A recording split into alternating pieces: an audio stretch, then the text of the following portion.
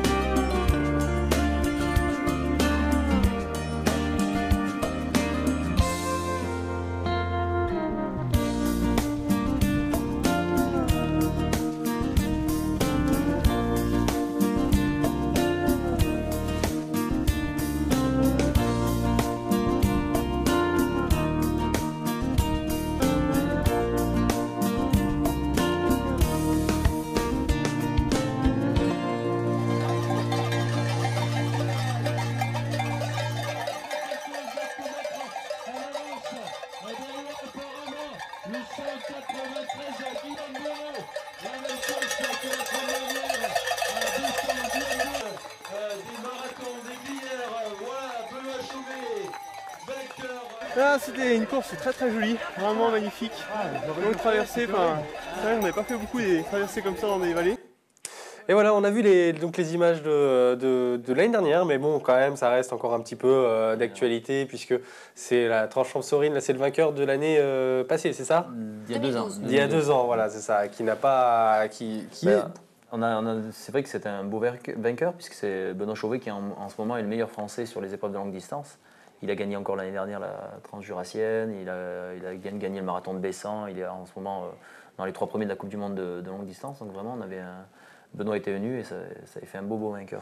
Alors justement, est-ce que ça peut être euh, un, espoir, un, bel espoir pour euh, le, ski de fond, pour pas pour les pour l'international, sachant que là il est bon sur les longues distances. lui, lui, il a un peu le même profil que j'avais moi, c'est-à-dire c'est un gars qui avait vraiment spécialisé sur des, épreuves longues. C'est vrai que l'effort il est différent quand on fait une épreuve qui fait 10 km une épreuve qui en fait 50, euh, voire comme à la base à 90. Hein. donc euh, c'est vraiment des efforts différents. Là, on travaille beaucoup sur l'endurance, puis c'est un gros travail mental, c'est-à-dire qu'on est longtemps dans l'effort. Et Benoît, bon, bah, lui, il est plutôt maintenant orienté là-dessus, et je pense qu'il est plutôt sur la fin de sa carrière. Et ben on va parler maintenant d'un jeune espoir aussi euh, au Alpin, qui est récent même. vous le connaissez sûrement, c'est Paul Goalabré. Mmh. Et ben je vous propose de, l'écouter tout de suite. Pour le, le moment, j'évolue sur le circuit Coupe d'Europe en essayant d'aller chercher euh, un maximum euh, de sélections pour le circuit Coupe du Monde. Euh, ça me, comment dire, je suis encore, encore jeune. Du coup, je suis au on va dire au début de ma carrière en essayant de, plus tard d'évoluer tout le temps sur le circuit Coupe du Monde et c'est ma priorité avec les grands événements, championnat du monde, alors voilà, Paul euh, Golabré, donc, qui n'a pas été sélectionné hein, pour euh, les JO de Sochi cette année. C'est peut-être encore un peu trop juste pour lui. Ah, il, est, jeune, hein, il est très jeune, je sais pas à quel âge? Il doit avoir euh, une vingtaine d'années. Hein. Oui, à peu près, oui. Il est moins de 23, donc bon, voilà. C'est vrai que c'est un bel exploit. Encore hier, hier, il a fait deuxième au championnat du monde des moins de 23 ans. c'est vraiment un peu l'antichambre du, du, très, du très très haut niveau. Et Paul Golabre, je pense, a vraiment la capacité à se transcender pour les, comme, les grands, pour les grands événements. Et en plus, il est sous la. Euh, sous la comment dire il est, il est, veillé, il est, il est surveillé. la bonne houlette. voilà, la bonne houlette de Vincent Vitoz, donc un, grand, un grand champion français. Donc, il est bien coaché, je pense, que c'est vraiment pour l'avenir un grand espoir. Et puis vous, vous continuez quand même à faire de, bons résultats. Là, on, était justement euh, du côté du, du Kera pour la, traversée du Kera. Vous avez fini deuxième derrière Jérémy Milro et Jérémy, très loin derrière Jérémy. Jérémy l'avoue lui-même parce qu'il fait partie du, ski club Gap Bayard. Il l'avoue lui-même. Il fait bon, je suis quand même un peu meilleur que euh, Stéphane Passeron et puis euh, Thibaut Massé, je crois, mm. qui était derrière. Donc c'est pour ça qu'il s'est imposé logiquement. On regarde tout de suite le reportage ici TV. 241. 241, c'est pour moi. Quelques minutes avant le départ du 21 km, les skieurs se mettent en place, s'échauffent et pour certains, on part plutôt confiant. Les conditions, il fait pas très froid, il y a un peu de vent. Dès qu'on sera en course dans la forêt, on sentira plus tout ça et ce sera très bien. 30 secondes avant le top départ, grande bourrasque de vent. Certains manquent de tomber, la compétition s'annonce compliquée. Ça y est, c'est parti pour 21 km qui relie Aiguille à Abriès. À 11h30, première arrivée, ceux du 47 km, avec en tête Jérémy Mioro du club Gap Bayard, content de sa performance, même si le parcours a été compliqué. Ça a été le, retour depuis l'échelle qui a été quasiment le, plus difficile, parce qu'il y, a beaucoup beaucoup de vent, euh, c'est des conditions qui ne sont pas faciles. On a beaucoup de congères sur la piste aussi, donc c'est vraiment dur, surtout en fin de parcours comme ça, c'est pas facile. Je vais pas dire, euh, je pense que ça serait orgueilleux de dire que je m'attendais à gagner comme ça, mais euh, je, visais de toute manière pour cette course-là la, première marche parce que je sais que Stéphane et, Thibaut qui sont un peu derrière sont, un petit peu moins bons que moi. Donc euh, bah voilà, j'aurais été mécontent de ne pas gagner. Voilà. Puis euh, quelques minutes plus tard, le deuxième arrive, Jean-Marc Passeron, Dossard numéro 2. Et en troisième position, le classement était presque déjà prêt puisque le Dossard numéro 3 arrive. Il s'agit de Thibaut Massé.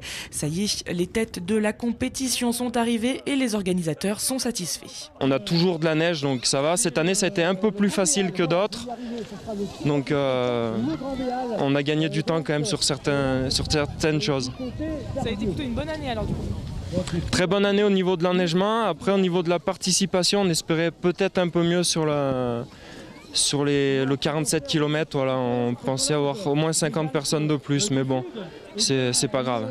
Voilà. Le tout, le tout c'est que les gens soient contents, c'est le principal. La traversée du Kera 2014 n'aura finalement pas été très simple pour les skieurs, même si le soleil était au rendez-vous. Bien sûr, hein, vous, je, suis désolé, je, tiens à démentir. Non, non, non, non, je tiens à démentir. Malheureusement, c'est Stéphane Passeron qui a fait deux. Voilà, c'est ça, c'est Stéphane Passeron qui a fait deuxième et pas Jean-Marc Passeron, donc comme vous pouvez l'entendre. Et justement, euh, Jérémy Milro qui le dit sur, euh, à l'interview au micro d'Elodie Pépin, qui, dit qu'il est meilleur que vous. Est-ce que ça vous fait pas quand même. Ça, ça, vous pique pas au vif sportivement en tant que sportif euh, Jérémy, avec toutes les pilées que je t'ai mis par le passé, je peux bien t'en laisser quelques-unes maintenant. Salut Jérémy. Euh, bonne chance pour la suite quand même. Est-ce que du coup, vous prenez ça du côté sportif mais Bien sûr, on se connaît, il, non, il est honnête, il dit seulement que c'est vrai. quand il m'a mis 5 minutes, donc euh, il n'y avait pas photo, il était bien plus fort que nous. Mais lui, en ce moment, il vise la, la trans, transjurassienne, qui a eu lieu dans, dans 10 jours. Euh, dans, oui, dans 8 jours. 8 jours. Et donc lui, il a des objectifs qui sont autres que les miens. Maintenant, moi, je fais ça euh, en dilettante. Quand j'ai un peu de temps, je vais m'amuser, je vais faire du ski, me faire des belles balades comme dans le Kera. en dilettante, en dilettante, mais une deuxième place quand même hein, sur un 47 km. Il ne faut, pas non plus, euh, faut pas non plus être trop modeste. Hein, je fais sur les restes. Et eh ben, en tout cas, merci Stéphane Passeron. Alors là, je suis bien attention à la prononciation. Hein. Merci Stéphane Passeron d'avoir été avec nous donc pour parler du ski de fond en, général. Ah, il y a de la neige qui Oh, on a vraiment pas de chance, vous voyez un petit peu dans quelles conditions on travaille. Hein. Et merci aussi, à, alors j'arrive pas à voir mes fiches, elles sont toutes trempées à Julien Benchida pour euh, avoir parlé de la tranche Sorine. Voilà. Et bien écoutez, c'est dans cette très très bonne ambiance qu'on va rendre l'antenne et puis qu'on va vous laisser euh, avec les programmes de DC TV.